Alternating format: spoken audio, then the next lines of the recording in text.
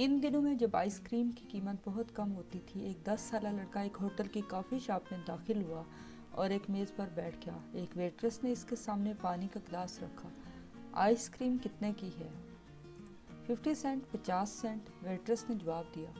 छोटे बच्चे ने जेब से अपना हाथ निकाला और इसमें ढेर सारे सिक्कों को तलाश किया। सादा आइसक्रीम कितने की है? इसने सवाल किया। कुछ लोग अब एक मेज़ का इंतज़ार कर रहे थे और वेट्रेस कदरे बेचैन थी।